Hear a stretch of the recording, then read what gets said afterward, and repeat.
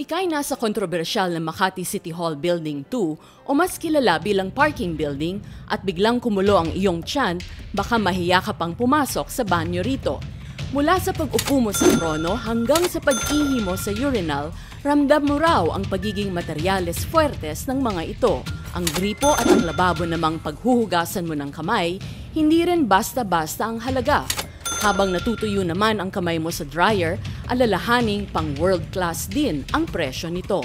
Kapag tapos ka ng gumamit ng banyo, mahigit sa isandaang libong piso ang halaga ng serbisyong na ipagkaloob sa iyo ng lungsod ng Makati.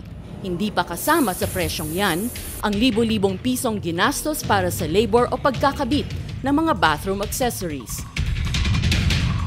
Pero teka muna, sa aming pagsisiyasat, malaki ang pagkakaiba ng nakalistang presyo ng mga bathroom accessories sa market price ng mga ito. At kung ikukumpara sa halaga ng ibang mamahaling brands, di hamak na mas mataas ang mga nakalistang presyo ng mga bathroom accessories na ito. Pero bakit ganon? Kung tutuusin nga, dapat mas mababa pa ang magiging presyo ng cost per unit ng mga kagamitan dahil bibilhin ito ng bulto-bulto o maramihan.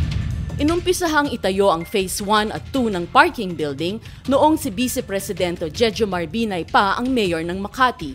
Ang Phase 3, 4 at 5 ng parking building naman ipinatayo sa termino ni Makati Mayor Junjun Binay na kasalukuyang suspendido. Sa termino ng nakababatang Binay, binili at ikinabit ang mga bathroom accessories. Ano anomalya? Wala nang wala nang sinabi doon eh.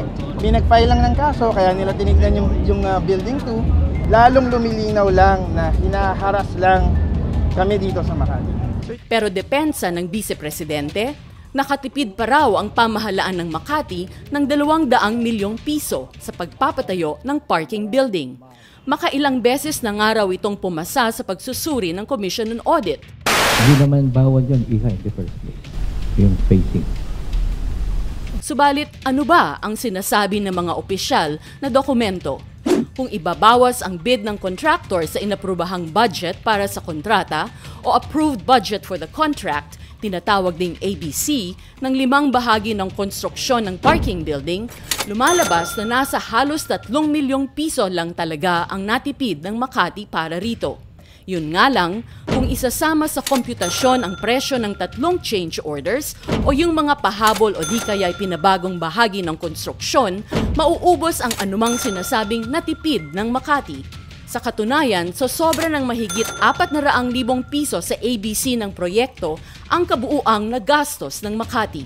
Kaya hanggang ngayon, ang tanong ng marami, Nakatipid nga ba ang lungsod ng Makati sa pagpapatayo ng parking building o tunay nga bang overpriced ito? Ano anomalya? Wala nang wala nang sinabi doon eh.